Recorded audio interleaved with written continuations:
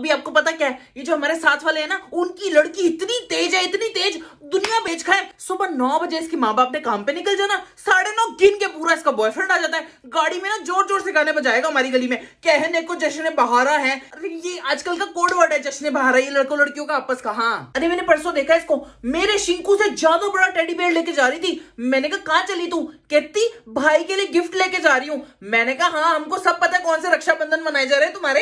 आधी आधी रात को घर वापस आना, अंधेरों में। और पता है, इतने टाइट कपड़े पहन के आती है कभी कभी तो ऐसा लग रहा है अंधेरे में सिलुएट चैलेंज करिए, पूरे शरीर की शेप हमको दिख रही होती है चलते चलते ऐसी थोड़ी मैं बालकनी में बैठ के टाइम पास करती हूँ। मैं अभी आपको लिख के देने को रेडी हूँ। चौदह की रात से घर आना ही नहीं। देख लेना। नहीं आएगी? मेरी पार्लर वाली तो बोल रही थी, बड़ी तेज है बिकिनी वैक्स कराती है। फ़र्स्ट ईयर में तो आई है अभी। अब ये कुछ वैसे रोज दे करके भी किया ले, मैं बताती हूँ ना फिर आपको तो स्टोरी आपको ध्यान है, पंचो बहन जी की बेटी की शादी में मैंने कितना बड़ा जूड़ा बनवाया था, गुलाब लगवा लगवा के है पार्लर वाली से। ये उससे भी ज़्यादा लाल गुलाब लेके गई है इसे गुलदस्ता बना के।